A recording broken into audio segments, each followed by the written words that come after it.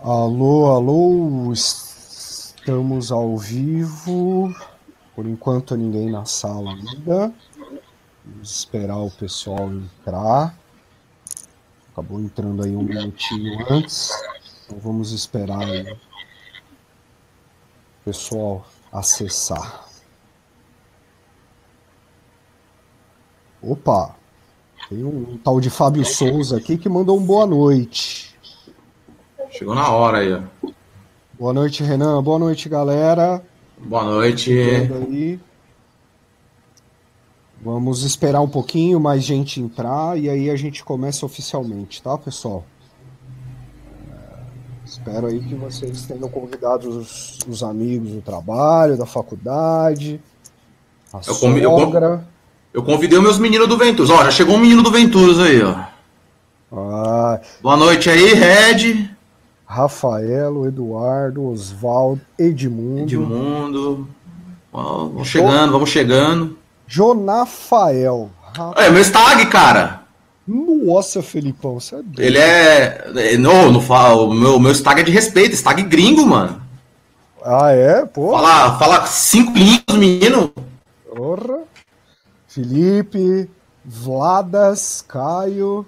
José, Luiz, Charles, Rodrigo, Eugênio. Boa noite, pessoal. Vamos entrando aí. Boa noite. O pessoal tá pontual hoje, ó. Deu 7h29, 7h30, brotou todo mundo. É, então, tá legal, né, cara? É Olha o grande Haroldo aí. O Algema? Algeminha. É, o Algema tá na área. Cleidson. Zé Maria, Luiz. Boa noite, galera. Já já a gente começa, tá? Estamos aí com 70 e poucos. Vamos ver se a gente consegue bater no 100 rapidinho aí, ao vivo, na sala, e aí a gente começa, tá? Boa noite, Willis, Leandro, Alexandra, é isso aí, galera. Boa noite. Her Herbert. Daniel.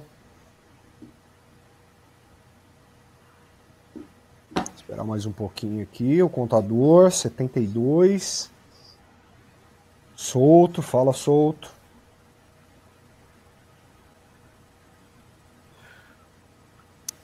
Santo André, Santo André eu conheço.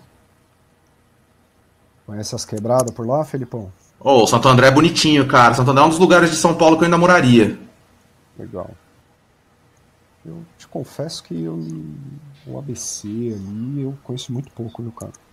Ó, cara, pensa Santo André como uma Campinas melhorada, uma Campinas que deu certo. Tirando a Avenida do Estado e algumas outras bizarrices que fizeram lá. Almir. É isso aí, Almir. Aqui.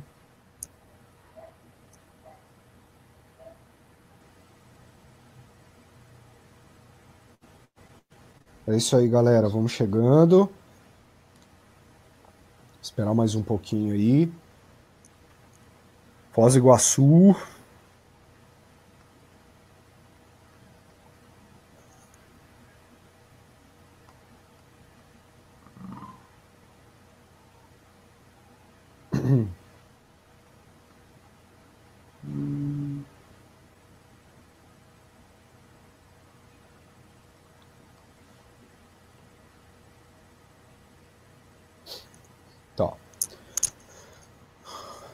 Já vai começar, pessoal.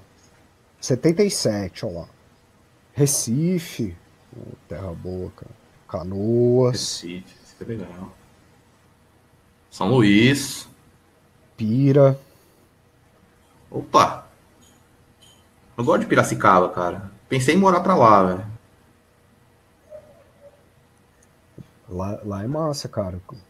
Comi uns peixes bons lá, viu? Nossa, Piracicaba é legal, cara. Tem que. Caruaru, aí sim. Legal. É, pessoal, dando aqui 10 e 35. Uh, opa, 10 não, desculpa. 7 e 35. Tá? A gente começa. Então, vamos ver. Se bater no 100 vai ser legal, mas se não, a gente. A gente começa mesmo assim. Opa, falou, deu uma moral ali, ó. Olha lá, 79. Aqui tá para, para mim apareceu 79. Vamos ver. Search. Se for pessoal, se for pessoal da capital de São Paulo, estão chegando em casa agora. Nossa, ou estão tentando acessar do celular no, no ônibus, né? Que tá parado. É, deve estar tá parado em algum lugar da marginal. Eu entendo todos vocês, viu? É, cara, não é fácil não. Nossa senhora. São Paulo. Não sinto, não, não sinto saudade. Disso eu não sinto saudade, não. Ter hora, não ter hora para chegar em casa quando sai do trabalho. É.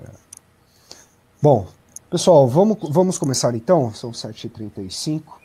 Então, primeiramente, boa noite a todos. Quem vos fala aqui é Diego Sueiro, do Embarcados.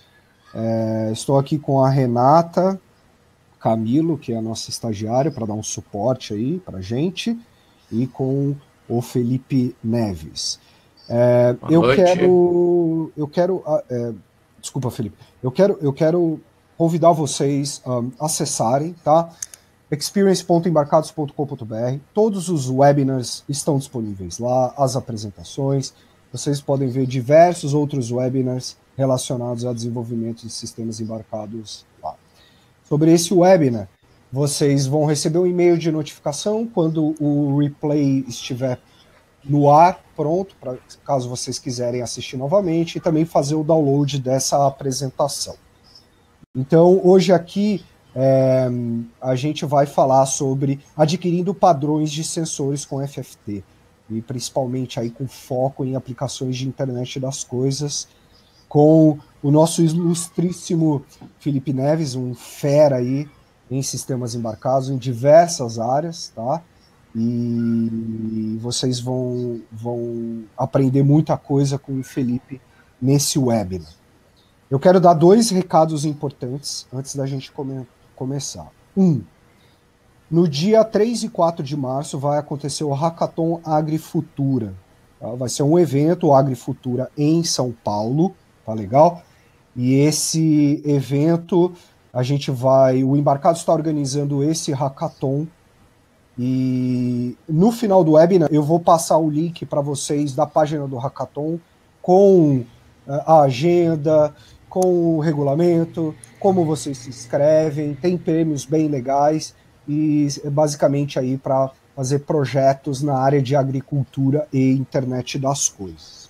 O segundo recado é, no final desse webinar, o Felipe vai fazer uma pergunta para vocês sobre o que ele falou aqui.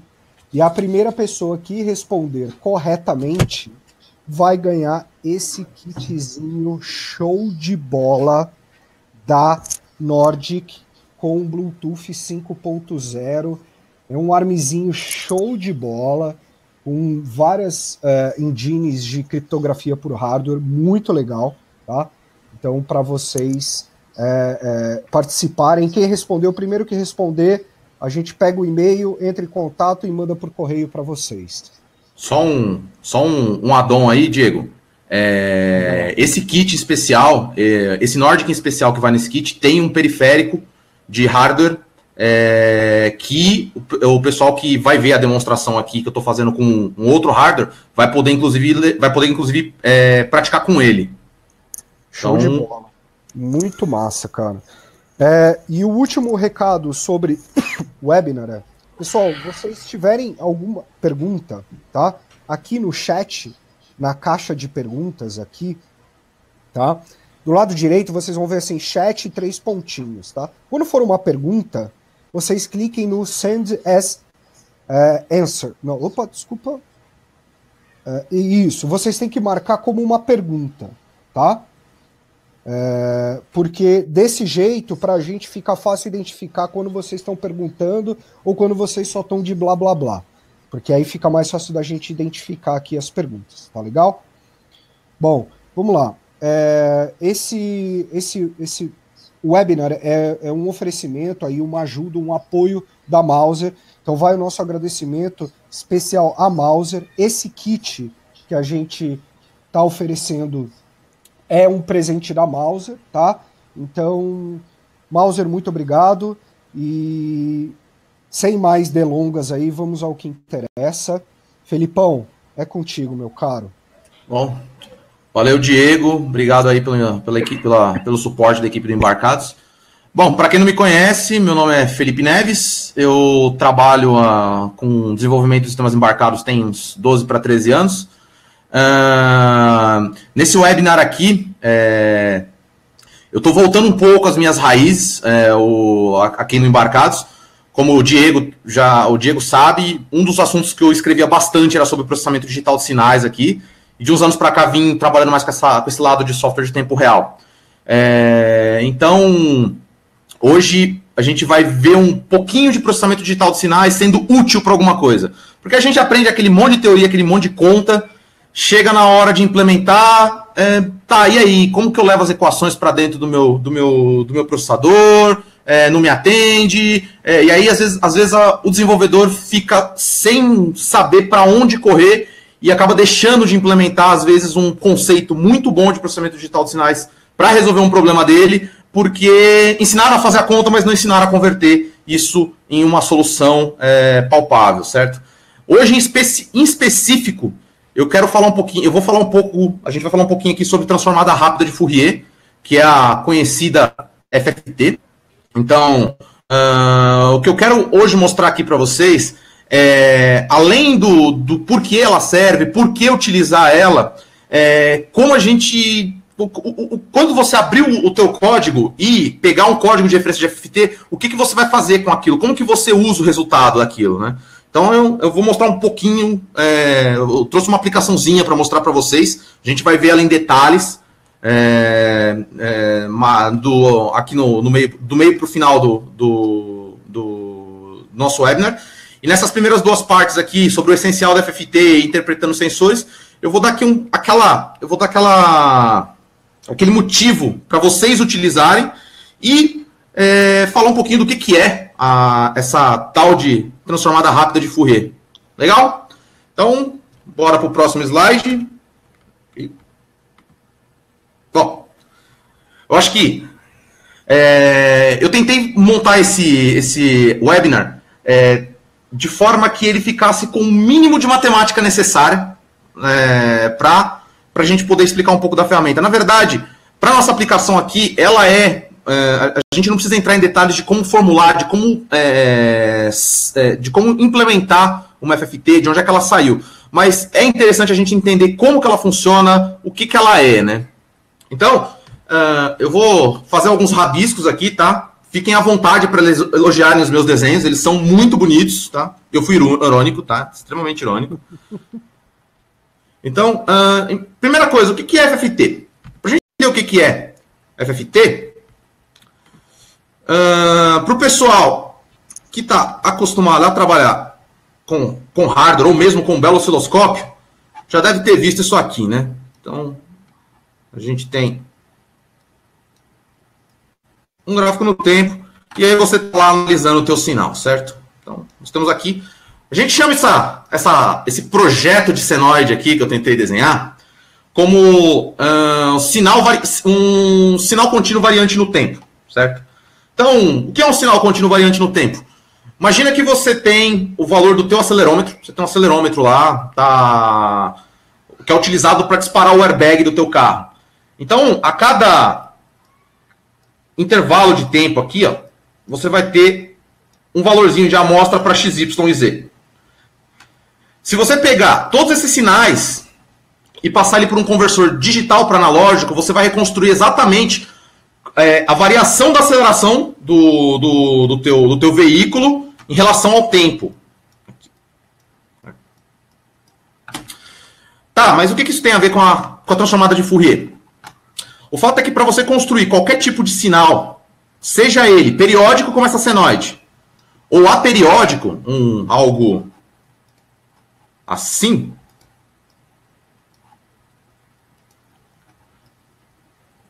aquele famoso sinal de áudio, uh, ele pode ser descrito na forma do, da conhecida série de Fourier. Então, se a gente voltar nessa ilustraçãozinha, na nossa ilustração aqui do, do slide, é, a série de Fourier, o que, que, ela, o que, que ela propõe? Ela propõe um método para que você é, construa o teu sinal variante no tempo, é, somando todas, uh, todas as frequências que compõem ele. Então, se vocês, verem, se vocês observarem a imagem, a gente tem o domínio do tempo, aqui. Uh, tá. A gente tem o domínio do tempo aqui, certo? Que é o nosso sinal construído. E aí, uh, segundo a transformada de segundo as séries de Fourier, para esse sinal engraçado que a gente está vendo aqui, existem algumas uh, frequências que compõem ele. Então, a, quando a gente aplica, quando, quando, a gente utiliza a série de Fourier, a gente consegue é, desmontar, fazer uma desmontagem desse sinal e saber quais as frequências que compõem ele. Tá? Resumidamente, a série de Fourier é isso. Quando a gente vem para o domínio da frequência estudar o que, o que tem cada uma delas, a gente está fazendo uma coisa chamada de análise de sinais em domínio da frequência. Então, antes a gente tinha lá o nosso sinal, que era um, uma f de t, que, um, que representava um sinal variante no tempo. A gente vai ter agora um f de ômega, ômega porque de velocidade angular, frequência, frequência que geralmente é computada em radianos, tá? E uh, com, com isso a gente consegue uh, entender como que um sinal, seja ele periódico, como essa senóide que a gente está vendo aqui, ou aperiódico é construído. Só uma curiosidade que eu quero matar de vocês é que uh, para todo, para todo o único sinal variante no tempo que é constituído de uma única frequência é, aliás, é uma senoide. Certo? Então, aquele sinal senoidal que a gente tem da nossa, da nossa rede elétrica, de 60 Hz, se você tomar a transformada de Fourier desse, desse sinal e olhar as componentes de frequência dele, você vai encontrar provavelmente um picozinho desse daqui situado na frequência de 60, de 60 Hz. E aqui tudo zerado. Na realidade, não é bem isso que ocorre, visto que todo sinal ele possui um valor mínimo de distorção. Então, você, vai ter alguma distorção aqui. E essas distorções, elas geram pequenas amplitudes ao longo do espectro. Certo? Que podem não influir no sinal, podem ser consideradas como ruído. Então, poder usar caixa de texto, né? Não, vou escrever, né? Ruído, né? Pode ser considerado como ruído, ou pode ser totalmente prejudicial, como essa figura aqui está ilustrando. Imagina que você deseja emitir no teu amplificador de áudio, você tem um amplificador de áudio, o pessoal que toca guitarra, quando você tem, você tem aquele seu amplificador de áudio e você quer gerar um tom de, você quer gerar um tom de uma nota para fazer a afinação da tua, da tua guitarra. É o que acontece? Você espera que saia uma senoide na, fre na frequência certinha da sua nota. E aí, quando você consegue ver o sinal, sai um negócio horrendo desse aqui. O que está acontecendo é que, por algum motivo, seja por problema de hardware, problema da, do, do, da captura ou da, do playback do teu sinal, outras frequências estão aparecendo e estão se somando na fundamental, como o Jean é, já falou aqui no, no chat, e causam uma distorção. Aí quando você vai comparar, o sinal não parece nada com aquilo que você esperava, certo? Então, uh, essa é a série de Fourier e o ato de você converter o teu sinal variante no tempo para o conjunto de espectro dele a gente chama de transformada de Fourier, que a gente chama de TF. O problema é que para você, para você fazer a transformada de Fourier no domínio digital, que é o nosso, né, no caso dos nossos microcontroladores, a gente usa a versão discreta, que é a DFT. O que, que vai acontecer? No caso da DFT, ela é limitada pela taxa de amostragem do teu sinal. Ou seja, a velocidade com a qual você captura cada pontinho do sinal que você deseja analisar. A DFT por si só já explicaria, é, já resolveria, já, já seria uma resolução para o nosso problema. Então, eu tenho meu sinal, variante do tempo, eu quero fazer, eu quero ver quais as componentes é, de frequência que compõem ele, para ver o que está acontecendo, então eu vou lá e tomo uma DFT. Isso aqui funcionaria se você quisesse capturar uma frequência específica, e não o espectro inteiro. Por quê? Uma DFT, ela é uma operação que envolve o que a gente chama de multiplicação complexa. Na verdade, você vai ter N multiplicações complexas de acordo com o número de frequências que você. De acordo com o número de pontos que você quiser fazer é, a tua análise. Ou seja, se você quiser é, 1024 pontos diferentes de, diferentes de frequência, você vai levar ali muito tempo, mas muito tempo mesmo. Você vai precisar de uma casa de segundos para fazer esse processamento. O problema é que isso pode violar o requerimento da tua taxa de amostragem. Quando você viola o requerimento da taxa de amostragem do teu sinal, você vai gerar ainda mais componentes. Alguns deles causados com erro de quantização e o famoso famoso alias, que é o, o maior vilão aí. Vai gerar um belo sinal distorcido, sinal ainda mais distorcido. Você não vai conseguir fazer é, é, você, nunca, você não vai conseguir recuperar o teu sinal para fazer uma análise dele.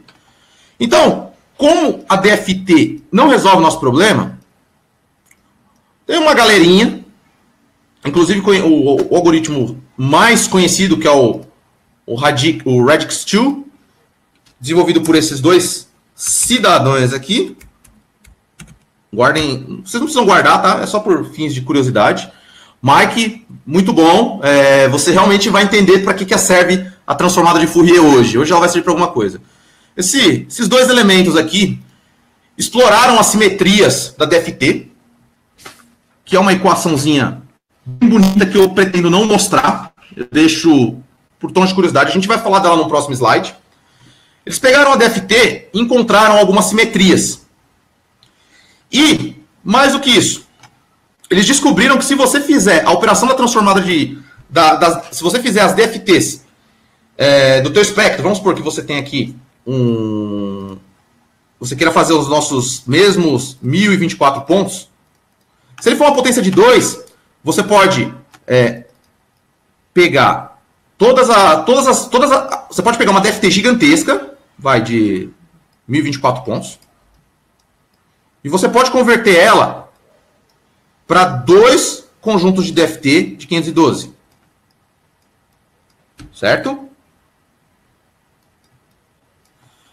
E eles viram que esse processo pode ser repetido até que você tenha vários conjuntos de DFTs de pares. Então você vai ter uma DFT aqui de duas frequências.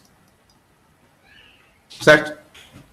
Fazendo esse processo aqui, esse processo de decomposição, que a gente usa técnica, uma técnica chamada de bit reversed, você consegue otimizar a ordem, o, a ordem de complexidade da, da implementação de uma FFT. Então, da casa de segundos, você consegue fazer uma FFT de 256 pontos ou até 1024 pontos é, na faixa dos milissegundos. Certo? Então, Respondendo a nossa pergunta do nosso primeiro slide aqui, a FFT ela é um algoritmo para que você consiga computar de forma eficiente é, quais são as frequências que compõem o espectro do teu sinal, certo? Tá. Para que, que a gente usa isso? Bom, eu estou mostrando para vocês aí um belíssimo MSP430. Vocês podem ver aqui. Esse aí o, o, o Haroldo gostou, hein? Esse aqui é um cara especial que ele possui um acelerador para DSP, que é o LEA. Esse é um cara muito legal. Eu, eu que falo que o MSP430 é meu contador de brinquedos, o, o Haroldo daqui a pouco vai me xingar. É, adorei essa implementação. Só que em muitos casos, você não vai ter essa, esse, esse tipo de acelerador para te ajudar como FFT. Você vai ter isso aqui, ó. Então o sinal vai direto para a CPU. Então, é, você não pode computar uma DFT dentro de uma MSP430 de 16 bits que roda ali a 16 MHz. É, ele não tem ponto flutuante, já começa por aí. É, ele não tem qualquer tipo de acelerador, o pipeline dele não é um dos melhores implementados, visto que esse cara, ele é a combinação mais estranha que eu já vi, só para matar a curiosidade, o MSP430, ele é um microcontrolador RISC com arquitetura von Neumann, Significa que o barramento de dados e o barramento de instruções dele é compartilhado. Você toma penalidade se você executar um NOP aqui.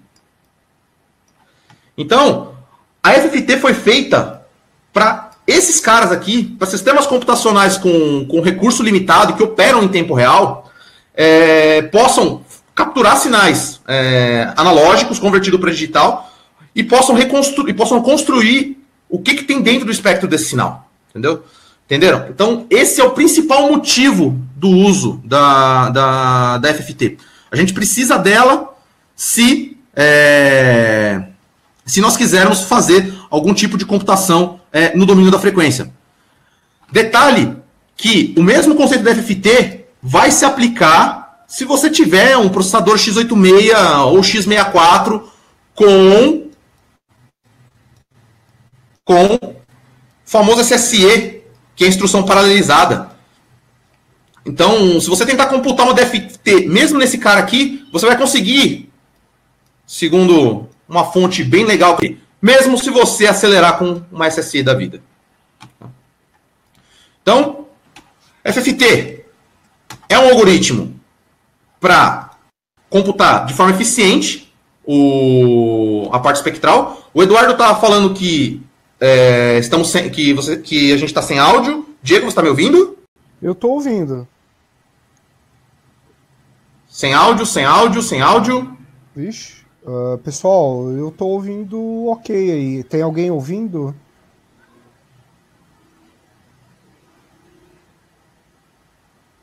O legal de comunidade é isso, né? O áudio cai e todo mundo se ajuda.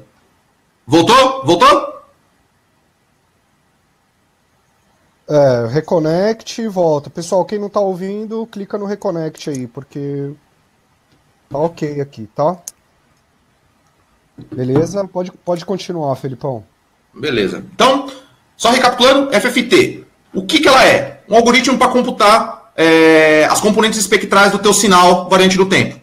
Para quê? Para você conseguir enfiar ele dentro de uma CPU. E como que a FFT faz isso? Eu acabei dando spoiler no slide anterior. Então, ó, vocês estão vendo os meus rabiscos aqui, né? Ó, a gente testou isso aqui antes, mas eu acredito que vocês estejam vendo. Ó, esse cara que vocês estão vendo aqui dentro dessa caixinha é uma DFT. Na verdade, é um conjunto de DFTs. É com esse cara aqui que você consegue fazer uma análise espectral do teu, do teu, do teu sinal. Só que não é eficientemente, é, não é eficiente do ponto de vista computacional. Então, o que, que a FFT faz? Ela pega esse cara aqui, que você pode enxergar basicamente como um, um vetor de multiplicações. Então, sabe, vou mostrar para vocês, sabe quando você, ele parece com isso aqui, ó.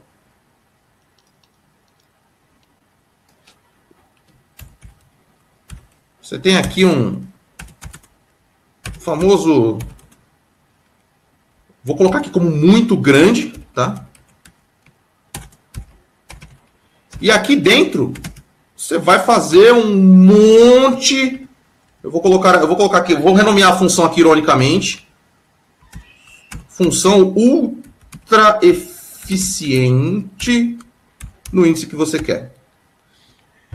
Então, é, o que acontece? Isso daqui esse tipo de, esse tipo de implementação aqui, para quem vem de ciência de computação e gosta de uma aula de, de algoritmos, é, o tamanho da nossa, da nossa FFT, a ordem de complexidade dela, esse é o famoso AN, que a gente chama de linear.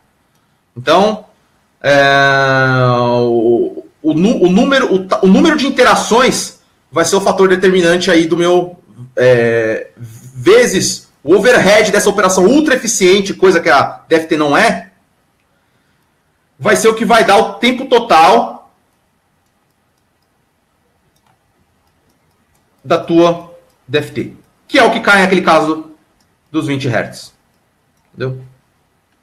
Então aí, o que, que o pessoal resolveu, o que, que, que, que aqueles dois meliantes resolveram fazer?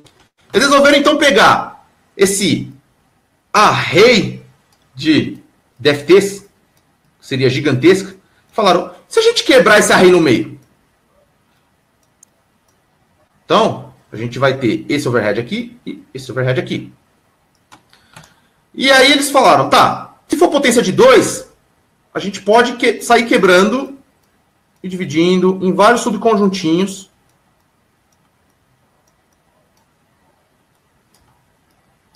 Até que nós tenhamos uma DFT de um par. Aí vocês, poxa, então a FFT ainda é um, um, uma DFT? Sim, sim, sim. A gente pode dizer que a operação elementar da FT que a gente chama, olha que nome bonito, olha que nome bonito, ela tem um nome bonito. A operação fundamental da FFT, que a gente chama de Butterfly, Butterfly, é uma DFT de ordem 2. Então você tem uma única multiplicação complexa envolvendo é, envolvendo, envolvendo essa operação. Uma multiplicação complexa, se a gente voltar aqui um pouquinho, qual que é o, qual que é o, qual que é o legal da multiplicação complexa? Multiplicação complexa é isso aqui, ó. Vai ser. Espero que todos vocês estejam afiados com números complexos, mas eu vou ajudar vocês aqui. Então a gente tem aqui uma parte real e uma parte não imaginária. Todo número complexo é isso. Multiplicação dos complexos envolve uma distributiva e uma simplificação. É uma das formas, é, é, um jeito de você é, é, resolver isso daqui. Então, para essa operação aqui, você envolve uma operação muito conhecida para quem já trabalhou com DSP que a gente chama de MAC. Essa operação aqui, ela é comumente chamada de multiplica e acumula. Agora vem a parte legal. Já dando algum spoiler, multiplica e acumula hoje ele está disponível no Cortex M, no M4, em um único ciclo de máquina. Você consegue fazer uma operação de multiplicação e acumulação no ciclo de máquina. E se você usar o SIMD, você consegue fazer duas multiplicações e acumula em um ciclo de máquina desde que elas sejam, desde que os valores sejam de 16 bits. Então, é, até esses microcontroladores mais baratos já tem alguma coisa que dê para otimizar é, o cálculo de FFT. E aí, e tomando eles de gancho, a operação de MAC você consegue otimizar por software, seja reordenando as instruções, seja fazendo em assembly. Então, a operação fundamental da FFT, que é uma multiplicação complexa, que é a Butterfly, você consegue é, otimizar. Com isso, o teu overhead por multiplicação complexa cai bastante. E usando um, é, valores de, que sejam potência de 2, o Coley chamado de Radix 2 também, ele tem uma ordem de complexidade muito mais legal chamada de n log de n. Apesar de maior, essa a ordem de complexidade n log de n, ela, ela, ela é, se o valor de n para uma DFT for muito grande, esse cara aqui fica absurdamente menor, mas muito menor. Que é o que dá o overhead típico de 20 milissegundos, o que te permite fazer esquema de double buffering ou é, cache do, do, do, dos, dos dados capturados e fazer análise em milissegundos. Você ainda consegue manter a resposta em tempo real da tua FFT. Entendeu? Então, esse é um, é um ponto aí é, a destacar de como que a, a FFT consegue é, te dar mais uh, desempenho é, em tempo de execução para cálculo de é, para cálculo de para computar o espectro do sinal variante do tempo. A única coisa é que, o único requerimento é que o tamanho da sua.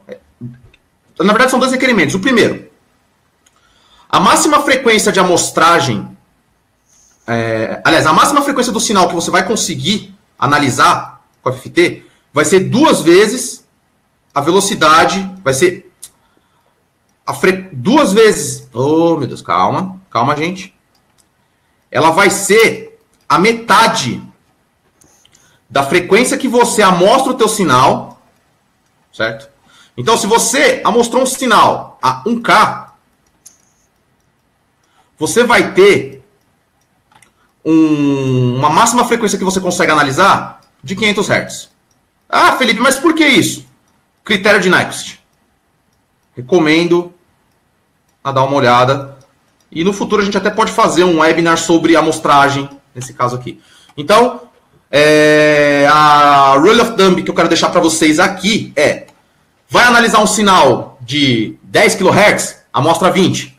Vai analisar um sinal de 50 kHz, amostra 100. Vai analisar um sinal de 1 GHz, belo processador que você vai precisar, amostra, amostra 2, certo? Então, a gente. Uh, vou perguntar aqui para o chat. Uh, ah, o Mário fez uma pergunta interessante que eu acho que é muito rápida. Eu vou responder as outras perguntas mais pro final, mas a dele é fácil de responder. Não, a FFT funciona se for diferente de potência de 2, mas quando você faz isso, você volta para esse cara aqui, de ordem de complexidade. Existe uma aproximação, uma alternativa à transformada uh, rápida de Fourier, que é a transformada Z-Chirp, que a gente chama de TZC, esse cara, se o número for diferente de potência de 2, se a ordem for diferente de potência de 2, ele sai dessa complexidade e vai para n log n. Inclusive, fica mais rápido do que computar uma FT.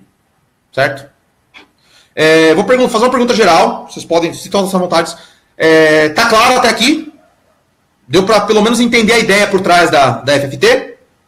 Fiquem à vontade para dizer sim, não, não de jeito nenhum. Tá? Qualquer coisa, a gente vai tentando deixar mais claro à medida que, que a gente for avançando. É, é tá? porque também é, existe o desafio, aquele desafio, né, Filipão? Normalmente, processamento digital de sinais, FFT, essa coisa a gente vê num semestre, né? Na universidade. Exatamente. Com, duas aulas por semana, né? Então aqui a gente está dando meio que uma pincelada, mas com foco na aplicação prática, né? Que às vezes é Sim. até uma coisa que você não vê muito na universidade, pelo menos no meu caso. A gente viu muito é, então. na prática. Brincou muito com o MATLAB, mas. Na hora de descer pro micro. Mesmo, nunca. Né? A história é outra, né? Aliás, o Fábio falou desse curso de amostragem na Unicamp do Coursera. É, vou dar o meu, meu feedback pessoal. Eu fiz o curso de ponta a ponta, ele é muito bom. É assim, ele é a, a luz que faltava para você entender tudo sobre amostragem e processamento digital de sinais. Ele ensina até a fazer a conta. É muito bom. Então, vale a pena se alguém se perdeu no, na parte da taxa de amostragem aqui ou quiser entender aquela regra que eu falei. Uh, o Haroldo fez uma, uma, outra pergunta. Se não for em quantidade múltipla de base 2, ajuda a completar o, o restante do array com zeros? Não. Você pode ter um, uma. Você quer fazer uma FFT de 512 pontos? Já, a gente vai falar sobre o número de pontos, mas se você alocar, se você tiver um array lá de 524 pontos, isso, você só vai usar os 512. O próprio bit, bit, rever, bit reverse da, usado no, como parte do algoritmo da FFT, ele simplesmente ignora os 12 elementos que tem para frente do teu array. Quem controla o tamanho da o número de iterações da FFT é sempre o usuário no momento que você é, que você inicializa ela. Uh, vamos responder uma, mais uma pergunta do Antônio aqui, para a gente já ir para a parte prática da coisa. Antônio, o nome desse cara, para você jogar, joga no Google aqui, é Chirp Z Transform. Tem vários uh, códigos de referência bons no GitHub, com licença MIT, alguns GPL, mas no geral ele é muito, muito, muito bom. Mas no geral são muito bons. Os testes são muito legais. Ô, ô Felipão, escreve no chat, cara. Porque. Mais fácil, né? É, porque até aqui na tela, às vezes demora um pouco para aparecer o que você escreve e eu acho que não tem como o pessoal copiar e colar. Aí. Boa. Então, tá aqui. Chip Z Transform ou TC. Ou, aliás, mais fácil vocês encontrarem cola invertida.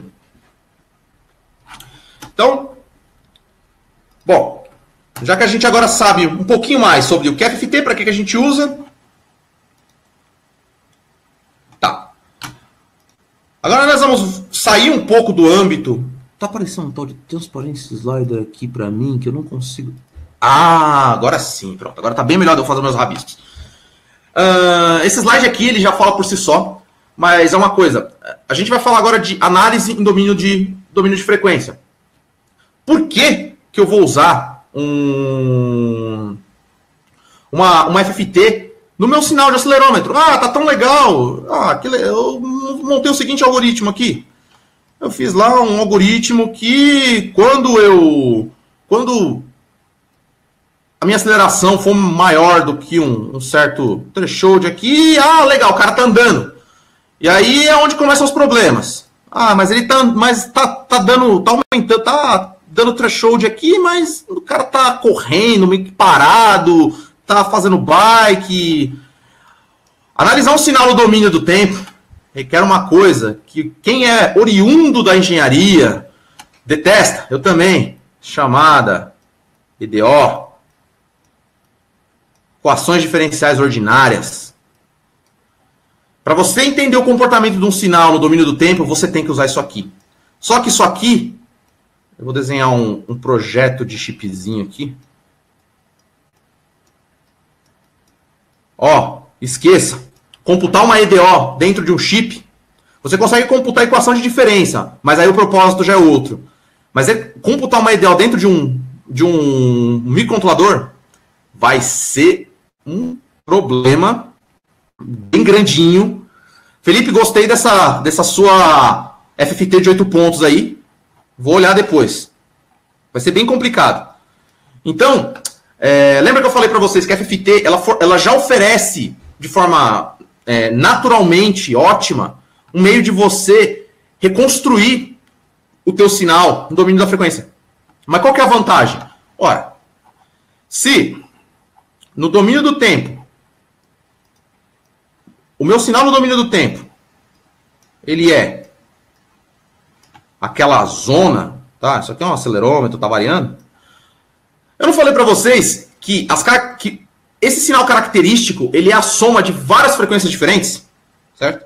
Então não seria muito mais fácil eu pegar esse sinal, se eu pudesse desmontar, se eu pudesse desmontá-lo e ter um, imaginem um array, vai de 128 pontos, onde cada pontinho desse ele me dá a frequência, a frequência que ele é, qual que é a amplitude dela, ou seja, com qual, qual que é o quanto que ela participa daquele pedaço do sinal, certo? Ah, que bonita a minha FFT aqui, ó, que coisa mais linda. Não, sei, não é muito mais fácil fazer análise, olhando cada um desses caras, capturando padrões, até mesmo comparar o padrão de um array desse tipo do que de um sinal que fica variando, variando continuamente no tempo? Então é isso que, que essa figurinha aqui está mostrando. Você, usar a FFT para fazer captura de padrões de sensores, você tem uma ferramenta muito mais poderosa do ponto de vista de análise. Então, você consegue é, janelar o teu sinal, ou seja, você pode pegar aqui ó, só uma porção de interesse do teu sinal. Ah, eu quero que qualquer threshold a partir de, é, de 10 km por hora que me interessa. Então você vem aqui, faz um janelamento do sinal e analisa só esse, só esse pedaço. O binding é... O binding, ele basicamente é a parte de quantização, tá? É outro tópico de processamento digital de sinais.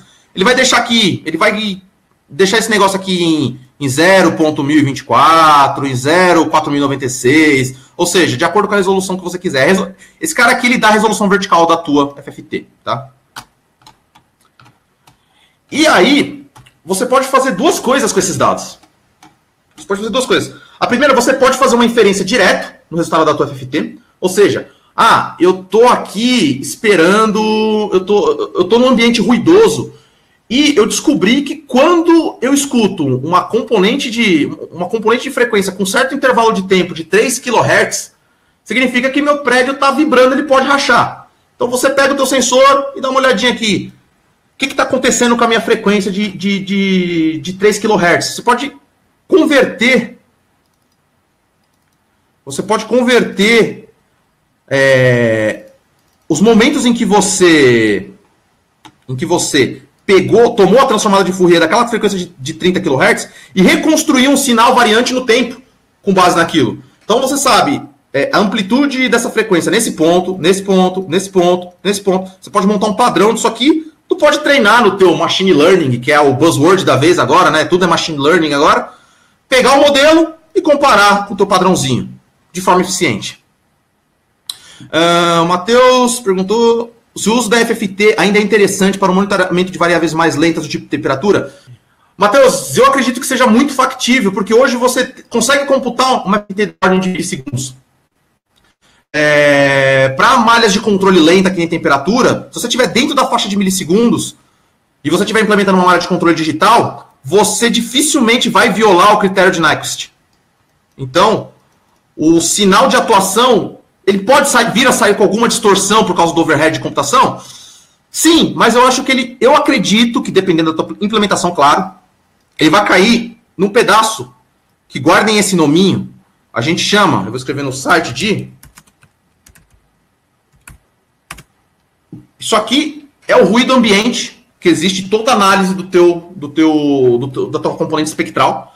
Então, esse cara, esse cara aí, você tem duas opções. Você melhora o teu sistema ou você ignora ele se você ignora o noise floor se o teu se o teu se a tua aplicação permitir. Se não der para ignorar, você tem que aumentar a relação entre o que é sinal e o que é ruído. Então guardem esse outro cara aqui, que é o SNR, que é o Signal to Noise Ratio. Detalhe, tá? Comumente, comumente o, que, o que esquecem de falar pra gente é que o, o valor do SNR, quanto maior, melhor. Não o contrário, tá? Se tiver baixo, o teu sistema tá com problema. Uh, um outro uso da FFT para sensores é filtragem. Sim. É, no curso de processamento digital de sinais, a gente aprende a filtragem aqui como sendo o mouse escapou da minha mão.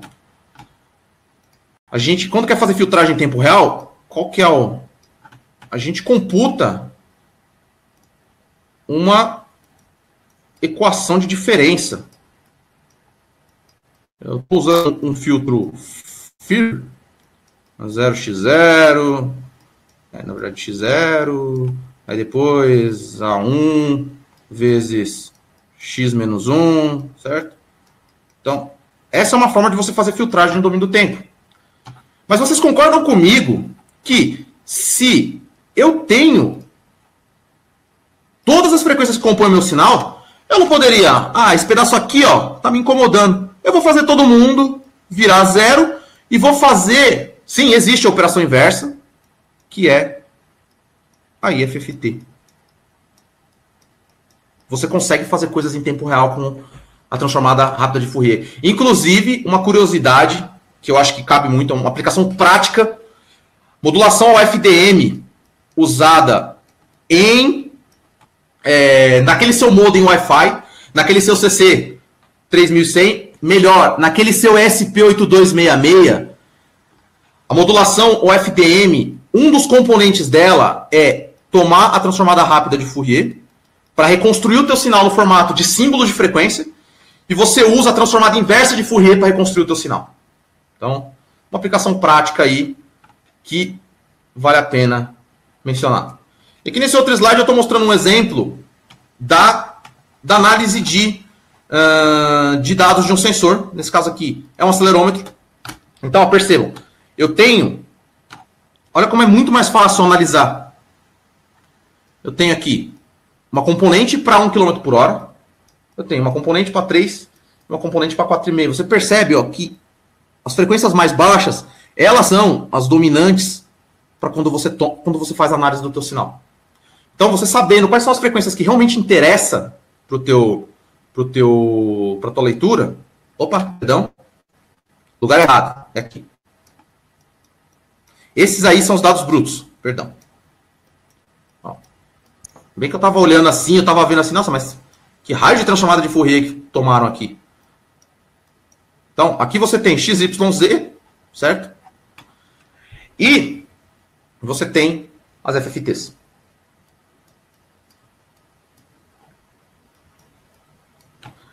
Aí você pode ter duas decisões. Você pode identificar caminhada, você pode identificar padrão, uh, você pode identificar atividade, ou você pode fazer filtragem. poxa, eu tenho meu, eu tenho meu acelerômetro, mas, cara, a minha malha é lenta e eu não tenho expertise para implementar. Palavrinha-chave aqui, mais uma que vocês vão gostar.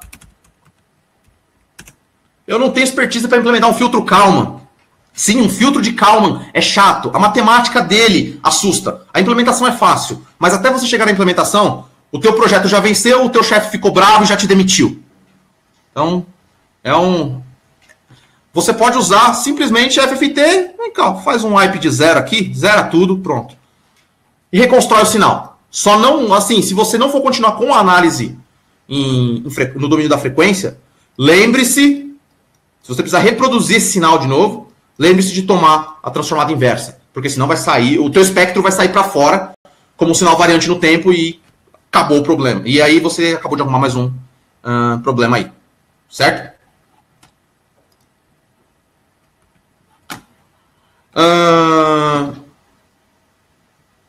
Bom, aqui eu trouxe um caso, um caso prático, que é famoso acelerômetro. Então, uh, uma aplicação de altíssimo valor agregado, que eu estou trabalhando agora, uh, que eu estou trabalhando agora com uma, com uma parceira, a gente está desenvolvendo um sensor de vibração. Só que esse sensor de vibração ele funciona sem fio e a extração de dados ela é feita sob demanda. Então, qual que, qual que é o nosso desafio aí? Primeiro, eu não tenho poder computacional. Segundo, eu preciso de low power, ou seja, eu não, eu não posso ficar 24 horas acordado fazendo, é, computando, é, computando algoritmo matemático para estimar aceleração. Então, a gente escolheu um acelerômetro. E aí, pasme, quando eu fui fazer uma pesquisa para entender um pouco mais sobre a vibração, eu descobri que quando você pendura um acelerômetro no, no equipamento que está vibrando, você tem. Obviamente, ele é construído de várias frequências, mas você tem uma oscilação periódica, com algum ruído, obviamente, mas com uma frequência fundamental muito fácil de identificar. Aliás, um ponto importante: uma característica de um sinal de, um, de identificação de componente do sinal é que quando a frequência fundamental no domínio do tempo está muito em evidência, você consegue separar ela da. da quando você consegue. É, perdão. É, quando você consegue ver a, a, fundamental, ou seja, a frequência principal do teu sinal, muito é, em evidência, muito clara, que nem a gente sabe que essa senoide está ruidosa, mas ela não é, ela é uma senoide ainda. Quando você toma a transformada rápida de Fourier, a tua frequência fundamental ela vai ter uma amplitude muito maior do que os ruídos. Ou seja, de novo, aquela palavrinha-chave significa que o SNR dela está muito alto. Certo? A menos, é claro, que o ruído também seja interessante para sua aplicação. Então você não considera ele como ruído, mas como frequ... outras frequências serem analisadas. Às vezes você não quer a fundamental, você quer olhar as menores. Já vou falar um pouquinho Só responder a questão do Mário. Mário perguntou.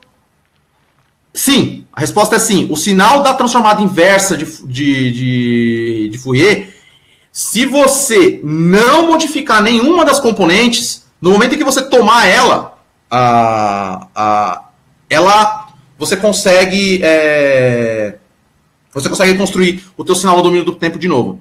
Uh, qual é o nome da propriedade? Agora me falha a memória ela é associativa, comutativa.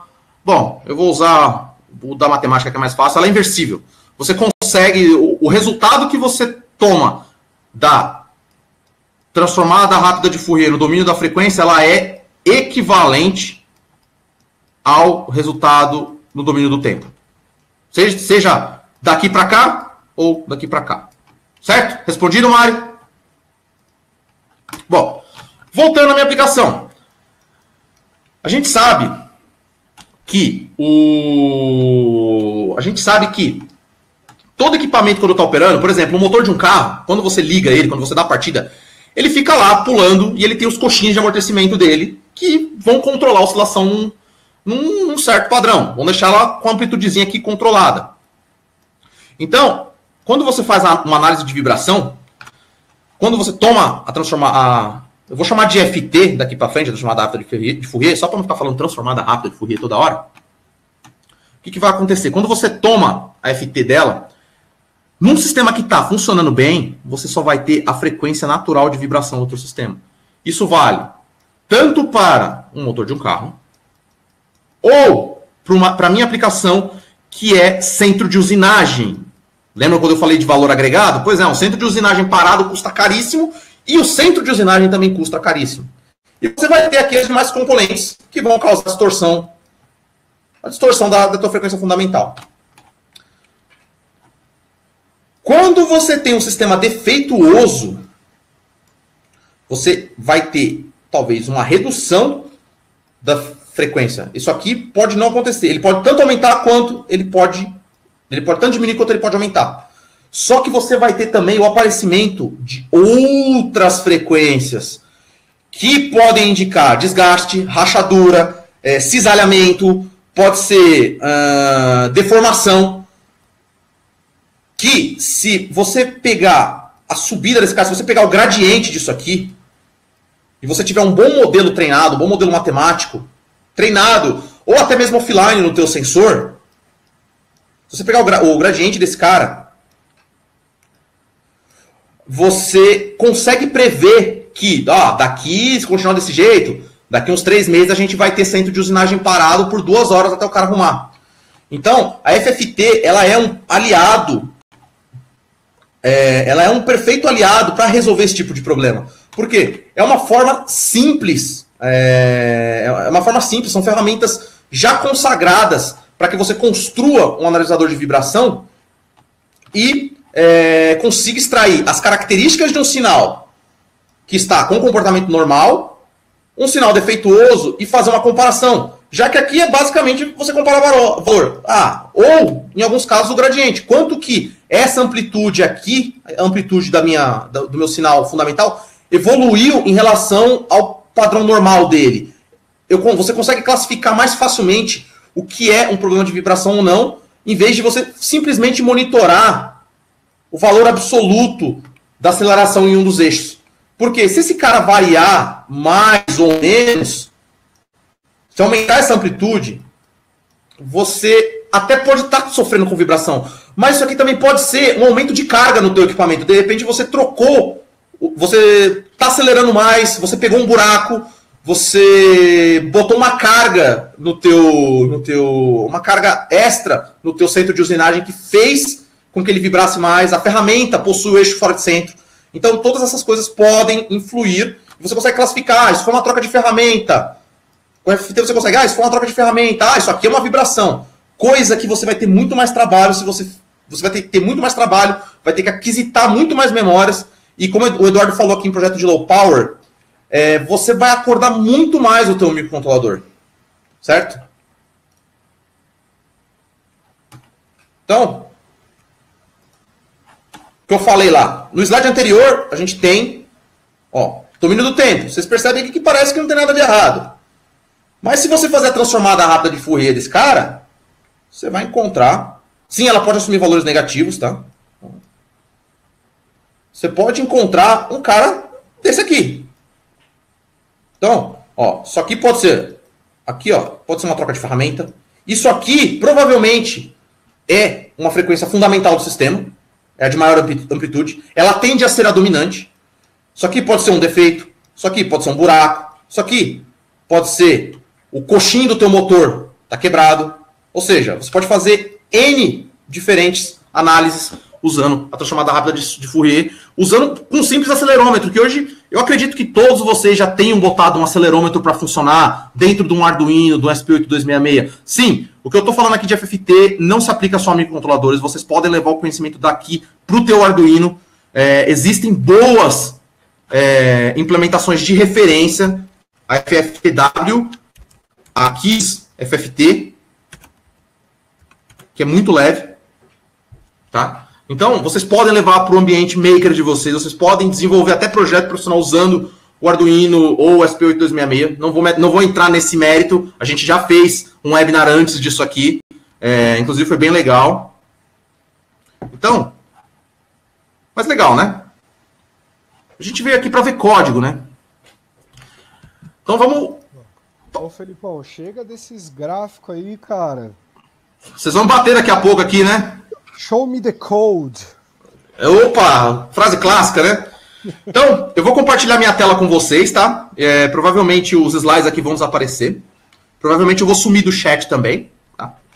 É, mas assim, a demo que eu tinha proposta era mostrar uma aplicação que eu desenvolvi com a Sensor Tool, que é um kit da, da, da ST, que é um microcontroladorzinho low power, um Cortex M4. E o que, que eu estou fazendo nele? Isso aqui é um sensor para fazer análise de comportamento de, de, é, de áudio ambiente aplicado a colmeias. Então, uh, vou mostrar para vocês como que num ambiente como o ARM Cortex da vida, uh, como você utilizaria a FFT de referência da ARM, que é a CMSIS. Tá? Então, opa, esqueci de compartilhar a tela, aí não vai funcionar mesmo. Eu vou perguntar se todos vocês estão vendo, tá?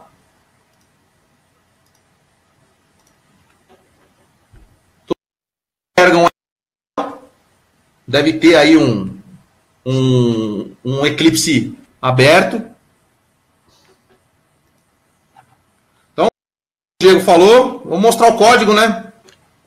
Bom, esse código ele é um firmware é, completo, tá? Não tem só FFT, até porque eu consigo mostrar para vocês também esse cara olhando. Então eu criei aqui um pedaço que é só processamento de DSP. O que eu faço hoje? O meu hardware, ele utiliza, um, ele tem um microfone, um microfone que tem saída PDM, um microfone digital. Inclusive, no brinde que vai ser oferecido, o processador Alvo Nordic tem um controlador de PDM super fácil de usar. Em questão de 15, 30 minutos, você põe ele para funcionar e você já consegue capturar o seu áudio. Então, eu estou capturando algum. Eu estou capturando, fazendo captura de áudio que eu recebo. Ah,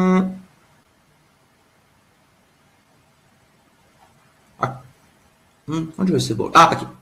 Eu estou recebendo meu áudio aqui. É um, é, um, é um array gigante. Tem um monte de amostras. E aí, como que você trabalha com isso? Então, é... voltando aqui, deixa eu voltar aqui. Como que você trabalha com isso? A FFT, ela tem. Uh... Só, vocês estão vendo meus rabisquinhos aqui de novo, certo? Uh, Marcelo Baus perguntou se eu gosto da implementação da CMSIS. Marcelo, gosto bastante. É, principalmente porque nos Cortex M3 e superior, é, aliás, no M4 superior, todas as funções da CMSIS, incluindo não só a FFT, elas estão é, tomando a vantagem do uso do set SIM-D do, do, dos Cortex M. Então ele usa todo aqueles MAC de duas multiplicações, um ciclo de máquina, é, ele toma vantagem disso. Então, ela foi realmente bem otimizada. A galera que implementou isso é, fez um trabalho show de bola. É, mas, se você não gostar, a Kiss FFT que eu coloquei aí no chat é uma implementação super leve que também tá bem legal e ela tem um, um, uma hook, um, um, trechinho de código que, ele, que ela deixa para você implementar como que você quer que seja feita a multiplicação, genérica ou usando alguma otimização, tá legal? Então o que acontece? Para você usar FFT hoje em implementações, lembra que eu falei para vocês que ela envolve uma multiplicação complexa? Então vocês lembram, né? O problema é os nossos sinais no geral, eles não são complexos. Sinais de mundo real, a menos que você esteja trabalhando com modulação em quadratura, eles são int 16. É, exatamente, é um conjunto de sinal real. Ou seja, a gente não consegue, a gente não tem componente complexa. Para a gente resolver isso, uh, a implementar, você deve, provavelmente, quando você pega uma implementação de FFT de referência, ela tem duas formas de se revelar para você. Ela pode ser uma FFT complexa. Tá. tá. Ela pode ser uma FFT, uma FFT complexa ou ela pode ser uma FFT real.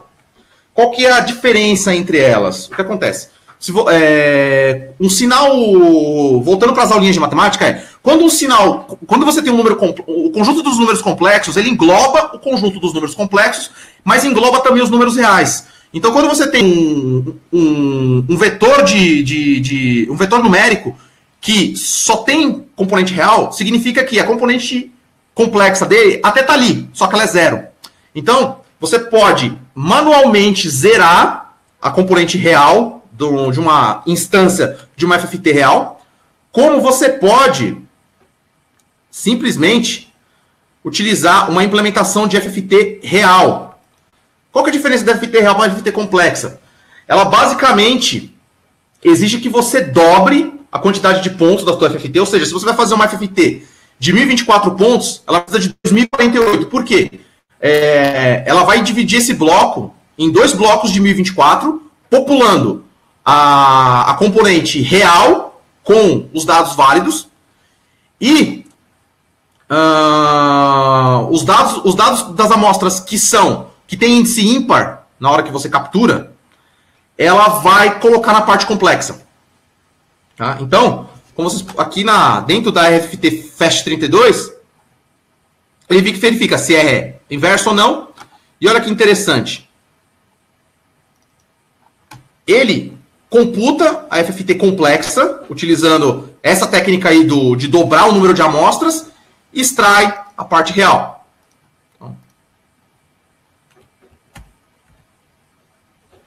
Então, como que a gente usa uma FFT? Primeira coisa que vocês têm que ter em mente.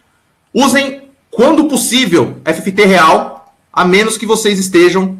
É... Opa, pronto. Tirei o risquinho. Obrigado, Henrique. Usem FFT real. Uh... A menos que vocês estejam trabalhando com é, modulação quadratura, porque aí você tem as duas componentes, a real e a complexa. Então você consegue trabalhar com as duas, é só é, enfiar para dentro da, da FFT.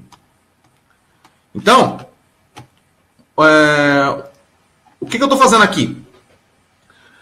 Eu estou fazendo uma cópia simplesmente, eu estou escalando o meu, o meu, as minhas amostras, que são de 16 bits, para ficar no range de menos 1 a 1. Ah, mas você está fazendo em ponto flutuante. Sim, por quê? O Cortex M4 tem unidade de ponto flutuante. Fazer operação de ponto fixo aqui, ainda mais que eu tenha uma malha mínima, é, até que lenta, seria desperdício. Então, habilita a unidade de ponto flutuante e escala o teu sinal para um resultado de menos 1 a 1. Porque fica muito mais fácil de fica mais fácil você interpretar o resultado. Tá? E aí, aqui, eu vou executar o código até o ponto aqui.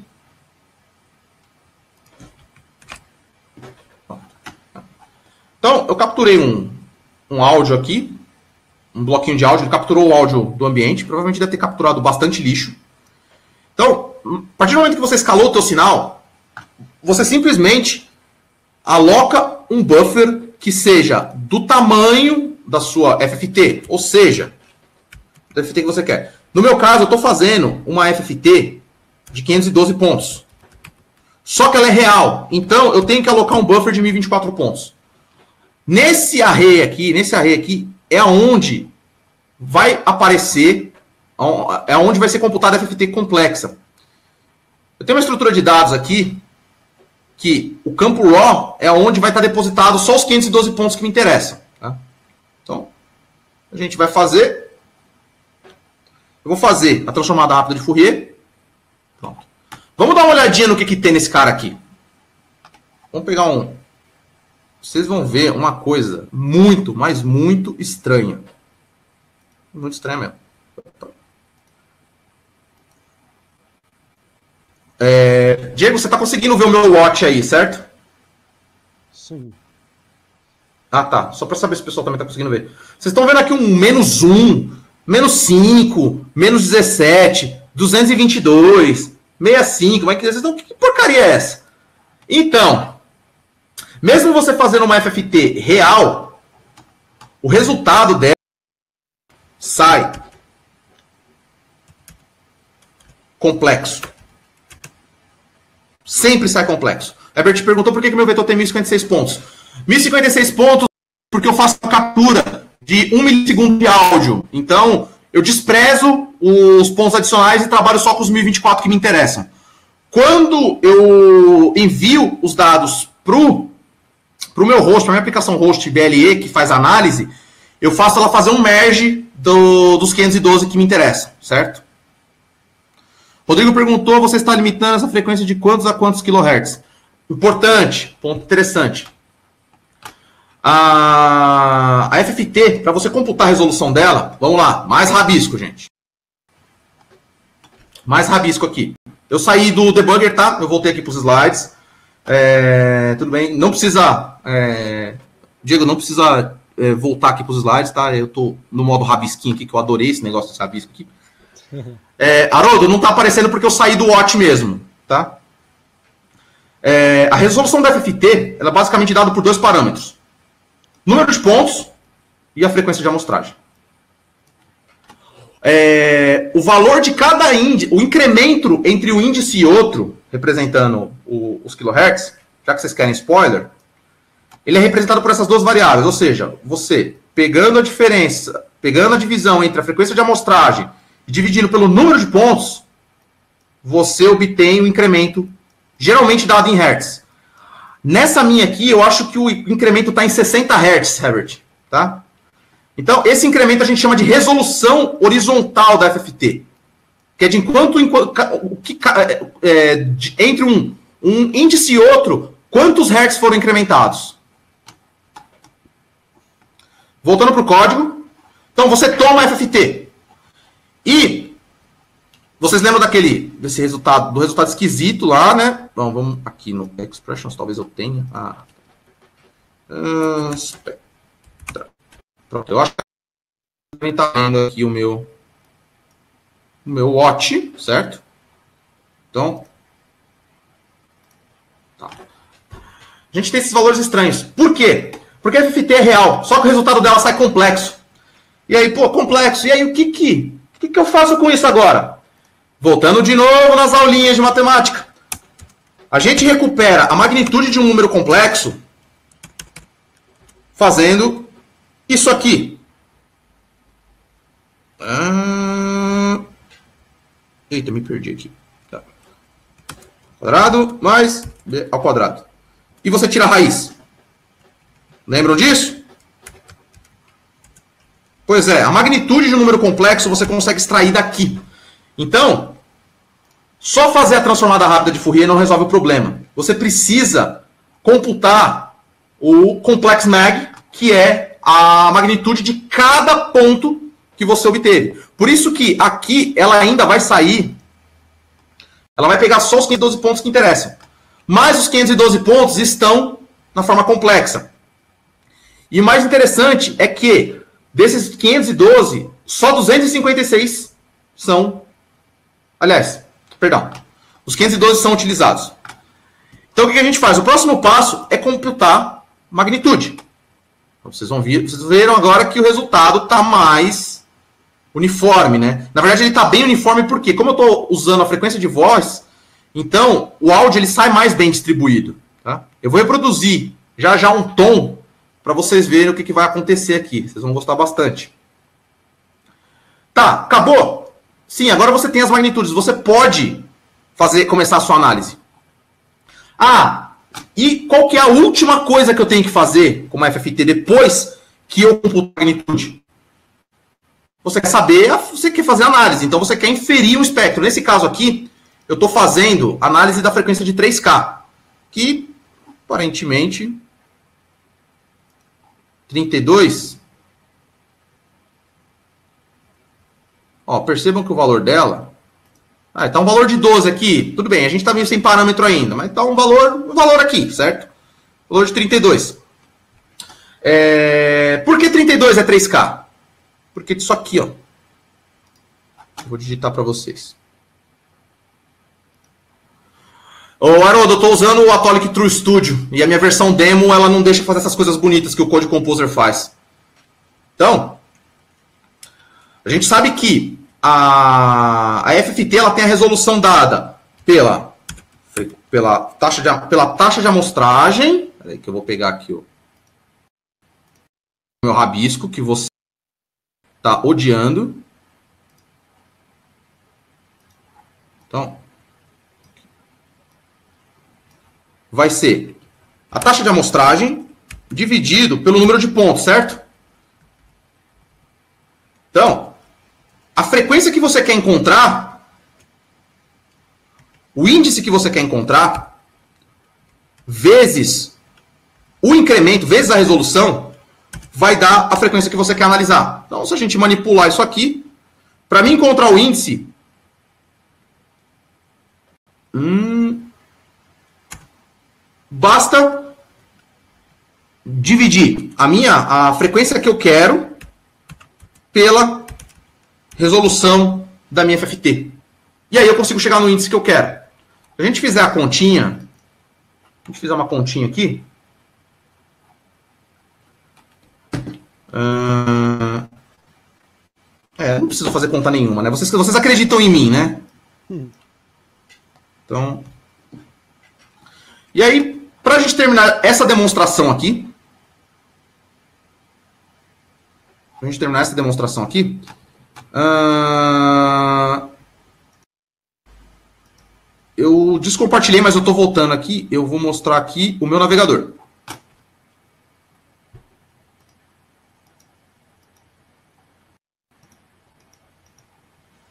Eita. Vocês estão me ouvindo? Sim.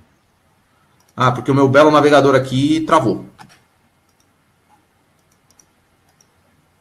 Mas, gente. Fui compartilhar a janela do meu navegador e ele travou. Na verdade, agora travou meu Linux todo.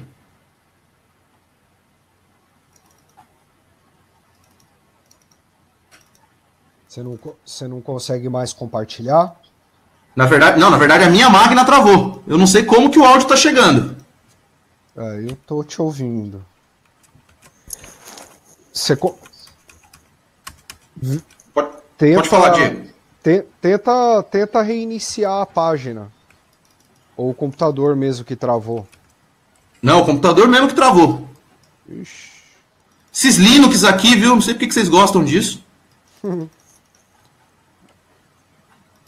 Bom, não vou perder tempo não. Eu vou, eu vou cair e vou voltar, coisa rápida. Eu acho que dá para segurar uns dois minutinhos, não dá, Diego? Dá, vamos ver se eu consigo enrolar o pessoal aqui. Eu, eu cara, eu, eu nunca, infelizmente, eu nunca trabalhei profissionalmente com processamento digital de sinais. Então, é, eu não sei se eu vou conseguir responder nenhuma pergunta aqui, mas vamos, vamos lá.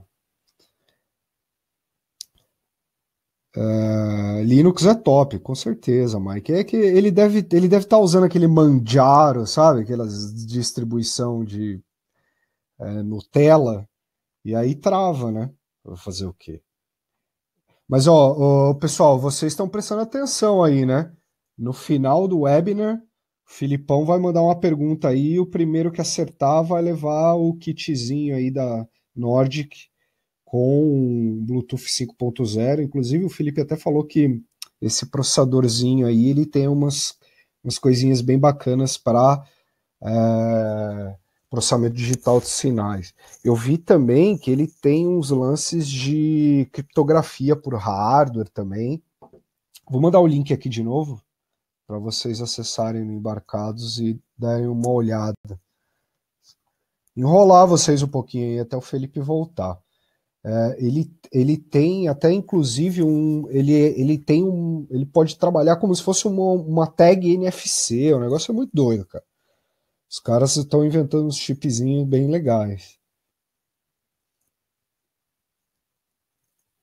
Aí tem o CryptoCell que é um coprocessador de, de, de segurança um negócio muito massa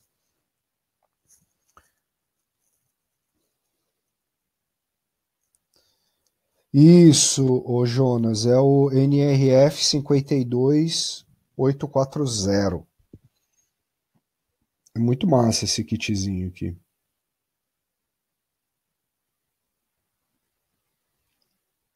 E aí no final, quem acertar. O Felipe apareceu agora para mim que ele saiu da, da sala. Nossa. Tomara que não demore muito aí.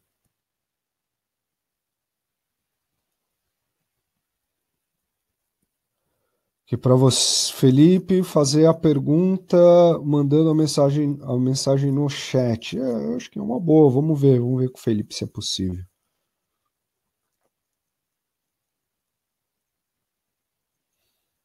Deixa eu ver aqui as perguntas. Eu, eu não quero nem arriscar tentar responder e falar, falar bobagem, né?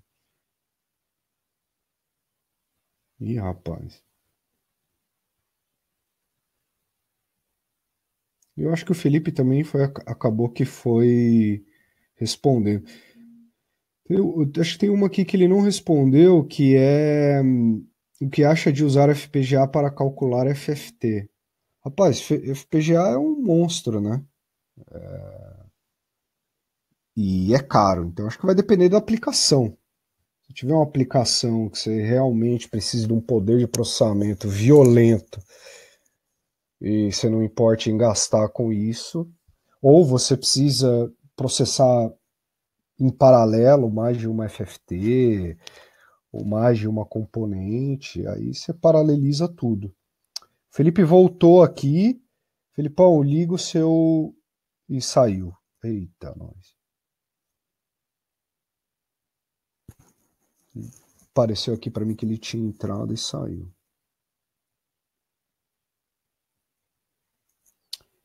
Só para avisar o pessoal, a gente acho que a gente já tá para finalizar, inclusive, tá? Deixa eu ver aqui. É isso mesmo. É, essa parte de demonstração, tá? É a parte final já do nosso webinar, então a gente está para finalizar, tá? Então, assim, eu vou recapitular um pouco com vocês é, sobre o Agrifutura, tá? É, então, o Agrifutura vai acontecer em São Paulo dos dias 3 e 4 de março e o Embarcado está organizando um hackathon. Tá?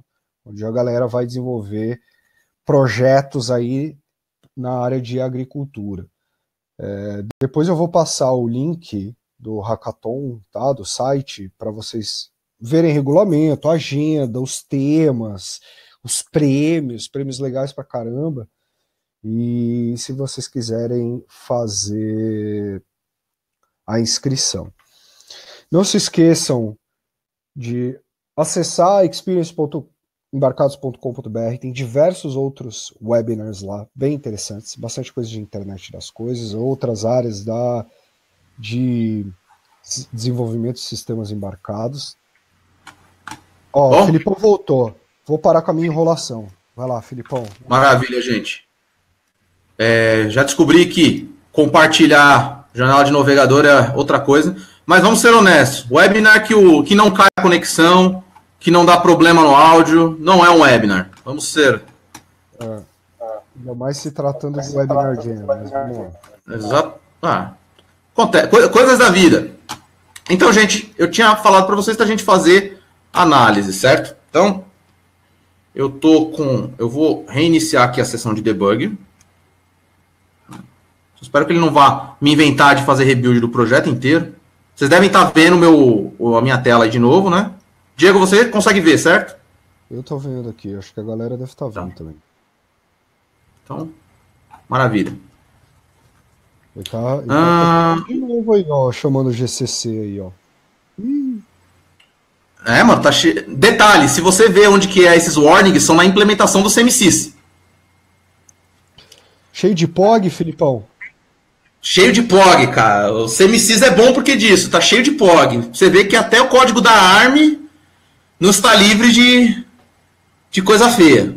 É. De contável. Mas é. Fazem que é para forçar o uso do, do set especial do Cortex M4. Que o próprio GCC não gosta. Uh, o Wagner falou aqui se a frequência de 3K não deveria ser a amostra 50. Hum, vamos ver. Deixa eu só ver a quanto que eu estou amostrando. Ah, 48. 28 por 512. Tá. Dividido por 93.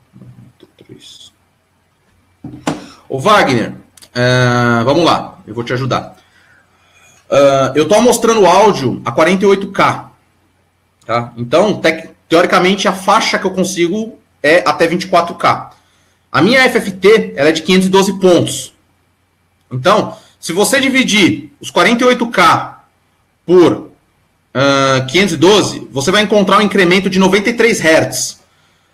Ah, se você pegar os mesmos 3.000 Hz e dividir por 93, você vai chegar no índice de 32. Tá? Respondido? Nossa, gente. Vai terminar de compilar amanhã isso aqui. Deixa eu já ir falando para vocês aqui. Então, nesse caso, eu estou analisando a frequência de 3K no, no meu, do, do, meu teste. Na verdade, isso aqui acabou sendo mais um. É, na verdade, eu faço aquilo que eu falei para vocês na, na, da, da, das soluções com o uso da FT. Eu envio periodicamente o dado da frequência de, de, 30, de 3K e eu construo um padrão dela ao longo do tempo na minha aplicação host que não está aqui. É, e aí, com isso, eu consigo analisar se o nível de agressividade das abelhas dentro da colmeia ele está é, é, ele tá adequado para você fazer extração de mel ou não. Eu uso isso ao meu favor para minimizar a mortalidade de abelhas e, consequentemente, o efeito que a gente chama de enfraquecimento de colmeia, que é o que pode levar a colmeia à morte, e com isso, o produtor de mel, que já depende muito delas, perder uma colmeia para ele significa ter prejuízo na safra dele, entendeu? É, então, é um é uma análise bem legal de se fazer. Na verdade, eu pretendo melhorar bastante esse, esse algoritmo aqui. E esse código aqui, lembrando que ele vai estar disponível, ele vai estar disponível no GitHub, uh, para que vocês possam fazer as devidas alterações neles e é, testar com a placa da Nordic. Só lembrando que essa placa da Nordic, ela já possui unidade de ponto flutuante, que nem esse STM32L4. É, então, vocês vão conseguir computar uma FFT tranquilamente em uh, nesse, nesse processadorzinho da Nordic e eventualmente fazer uma fazer, um, fazer stream do, do, do, do, espectro de frequência em tempo real, já que o Bluetooth 5 agora trabalha com você consegue trabalhar até 2 megabits por segundo, que dá aí uma faixa útil de 256 kilobytes. Aliás, kilobits. Então dá para fazer um streaming aí bem legal, viu? Uh, nossa, gente, que legal esse projeto. É, ô Felipão, compilando. Deu, deu uma ziquezira aí, cara, que não sai do 6 pulsa. Sai do 6 pulsa. Quando eu tava compilando aqui. Ah, pronto. Aí. Agora foi. Agora foi. Já tava achando aqui que eu não ia mostrar. Olha que coisa triste. Bom, agora meu breakpoint deve estar lá na main. Então, Vamos voltar rapidinho para explicar para vocês o que, que, vai acontecer. Que a aplicação sensível a tempo, eu vou ter que executá-la até aqui. Vocês viram lá que o meu, o, o 32 lá, ele estava baixinho, né? Eu vou até rodar de novo, para a gente não ter... Então, recapitulando, faz FFT, computa a magnitude, não esqueçam de computar a magnitude, senão o resultado vai ser difícil de interpretar. E usando aquele cálculo de resolução que eu falei para vocês, você consegue encontrar a frequência de interesse ou as frequências de interesse. Você pode, por exemplo, ordenar, reordenar o espectro para ficar mais fácil de fazer a leitura ou você encontrar as frequências dominantes. Então, se a gente olhar. Opa! Aqui. Se a gente olhar dentro do Spectra, a gente vai ver aqui no 32.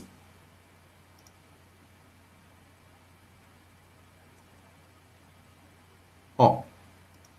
Deu menos ainda, né? No, no, no, o áudio que ele pegou no ambiente agora, deu menos ainda. Agora eu vou fazer o seguinte. Eu vou colocar ele perto do meu speaker, eu vou gerar um tom de 3K. Vocês vão escutar um barulho desagradável, tá? Então, é, não se preocupem, fui, sou eu que estou gerando? E a gente vai ver o que aconteceu com esse valor. Então, eu vou ligar aqui meu gerador de tone. Vou configurar ele para 3K. E eu movi o sensor para perto dele. Eu vou tocar no máximo, tá? Então não se assustem.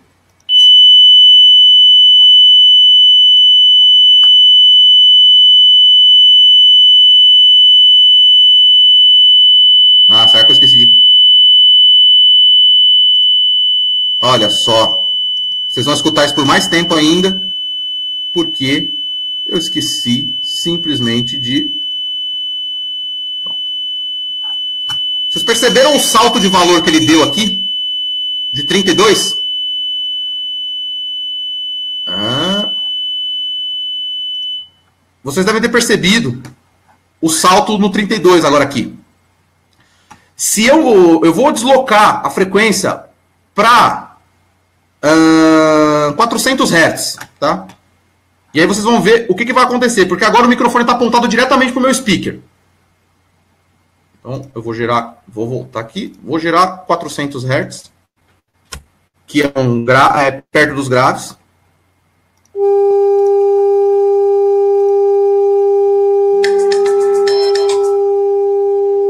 Então, vocês vejam que os, a magnitude do sinal de 3K, ela praticamente desapareceu. Desapareceu. Ela né, não desapareceu, mas ela caiu para o mesmo valor de ruído ambiente que estão as demais frequências vizinhas. E para vocês verem como a FFT é precisa, eu vou tocar um sinal de 2.900 Hz agora.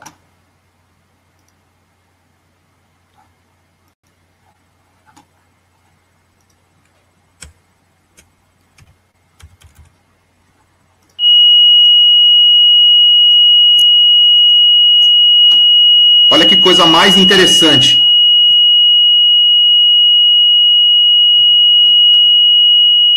Ah.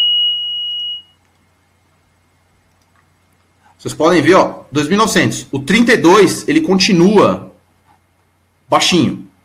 Teve um aumento significativo do 29, que o meu microfone deslocou um pouquinho aqui mas ela é a frequência dominante. Se vocês olharem o restante do espectro, ou se vocês rodarem uma, um ordenador aqui, um quicksort da vida, esse valor de 28.69 ele vai ser o maior valor que vocês vão encontrar dentro desse array. Tá? Eu não vou pesquisar, porque senão a gente vai ficar aqui até amanhã. Então, se eu chegar em 2.990 Hz, muito próximo, e rodar mais uma vez, Ó, vocês percebam agora que ele está ali entre o 31 e o 32. Esse fato está acontecendo porque a gente não consegue trabalhar com índice quebrado. Então, a frequência ela é de 93 Hz. Então, entre o 31 e o 32 vai ter ali um compartilhamento ali de, de, do, da, da, energia contida no espectro. Separados aí por causa de, de 10 Hz. Certo, pessoal? Uh, eu tenho um aplicativo. No, no, repositório que eu vou depositar lá, que eu vou depositar o código fonte, esse código fonte, para quem que tiver uma STML4 com um módulo Bluetooth, qualquer módulo BLE, ou até mesmo o cara da Nordic, vocês podem usar o serviço de Bluetooth que foi usado lá, que tem o mesmo UUID, para enviar esses dados para a aplicação Android que está disponível, que vai também estar disponível no GitHub. Não fiz para iOS, gente, não tive tempo. Com isso, vocês uh, podem selecionar manualmente no firmware é, a frequência de interesse e vocês podem tocar um tom de áudio ou algum ambiente ruidoso para vocês verem a variação dele no tempo. Ele tem um gráfico, ele mostra o salto que o sinal vai dar no momento em que ele, uh, que ele encontrar o. É, em que ele encontrar um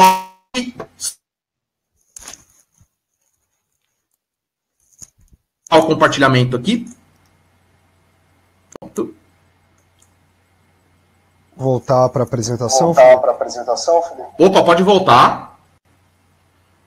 Tá. Bom, é... pessoal, a gente já está se estendendo, se estendeu até um pouco aqui. Eu queria fazer um, algo bem objetivo, mas parece que o objetivo, quando a gente fala de DSP, não tem jeito. Se a gente tenta fugir, mas ou é a teoria ou é a matemática que prende a gente.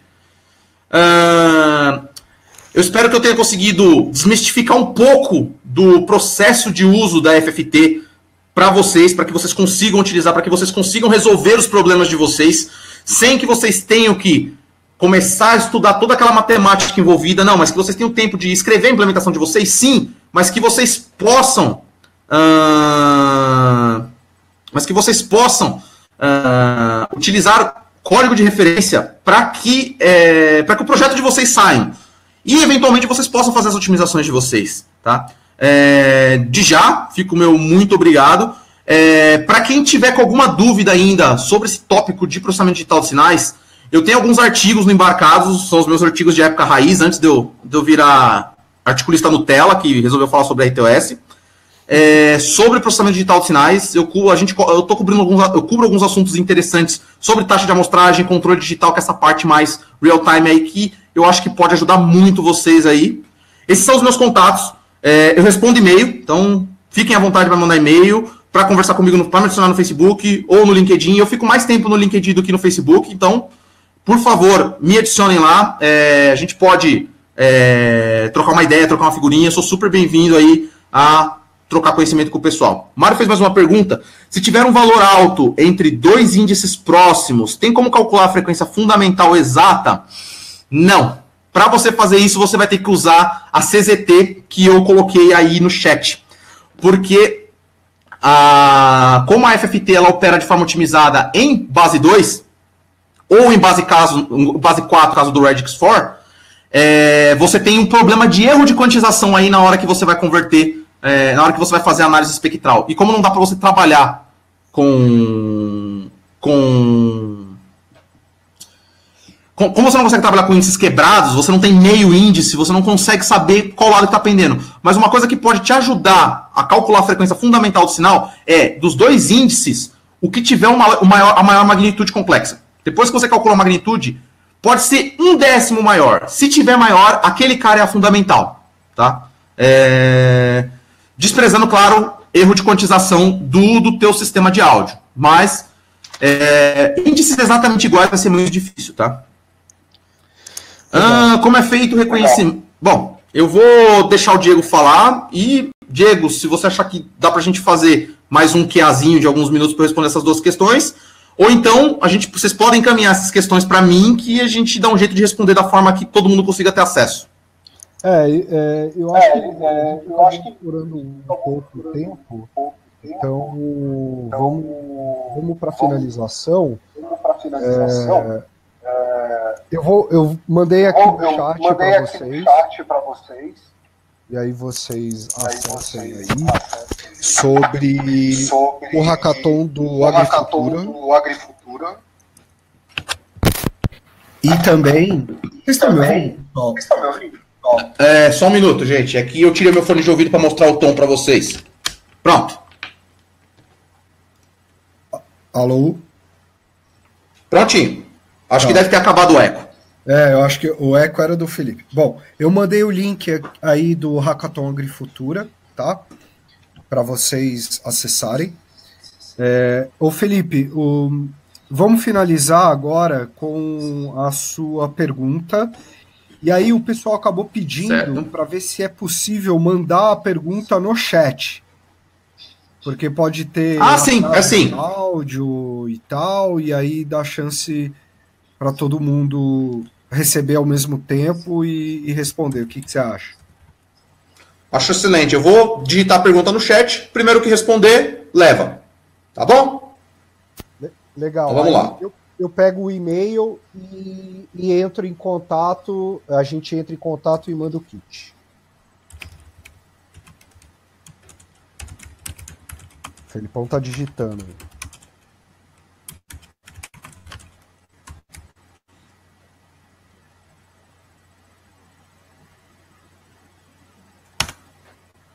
É, faltou uma interrogação. É fácil, hein, gente? Tá fácil. Hum, ainda não, Wagner. Tá faltando alguma coisa aí.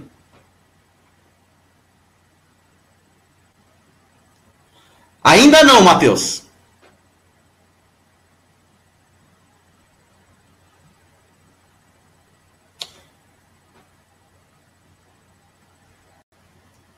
Hum, tá quente, Mário. Mas você, a fórmula que você passou tá calculando um outro valor.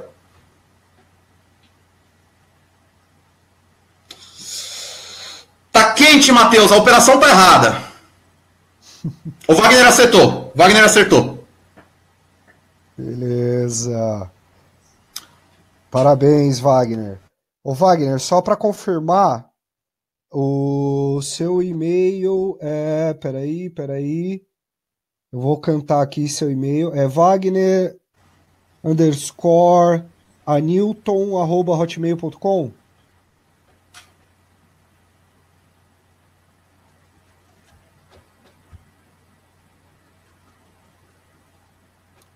É esse o seu e-mail? Isso, isso mesmo, valeu, Wagner. Bom, pessoal, nós vamos ficando por aqui, tá?